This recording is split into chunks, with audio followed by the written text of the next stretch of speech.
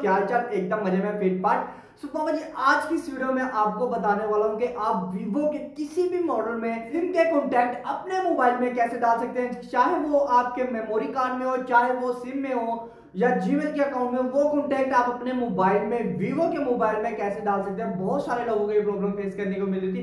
बहुत सारे लोगों की फरमाइश थी कि भाई इस पे वीडियो में लाजमी बताइएगा। तो so, इसी चीज़ को मद्देनजर रखते हुए आज की वीडियो में बना रहा हूँ। आज की वीडियो में आपको टोटल बताऊँगा कि आप कैसे अपने कॉन्टैक्ट सिम के जीमेल से या मेमोरी कार्ड से अपने मोबाइल में कर सकते हैं। सो so, शुरू करते हैं आज की वीडियो बिना टाइम वेस्ट किए। सो गाइस यहाँ पर आपने सबसे पहले क्या करना है अपने कॉन्टैक्ट में जाना है। कॉन्टैक्ट के बाद सेटिंग में चले जाएँ। सेटिंग में जाने के बाद आपको नीचे ऑप्शन नज़र आ रहा है इंपोर्ट का। तो आपने जिस फ़ाइल से भी करने हैं सिम वन सिम टू या फ़ाइल तो आपने वो सिलेक्ट कर लेनी है। तो मैं एकदम सिम वन सेलेक्ट करके इसे आगे ले जाता हूँ। तो ये कॉन्टैक्ट सारे आ रहे हैं जो भी मैंने इसमें इम्पोर्ट करने हैं।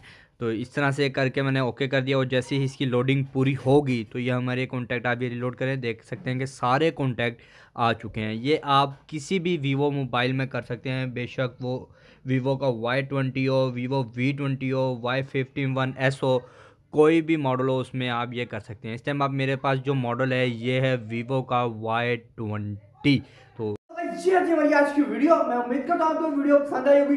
वीडियो पसंद है तो लाइक करिएगा चैनल सब्सक्राइब कर लीजिए। मैं मिलता हूँ आपसे लेटेस्ट आने वाली फ्रेश वीडियो में। वो तक के हमें भाई को दीजिए इजाज़त। अपना बहुत सारा रखिएगा ख्याल। Good bye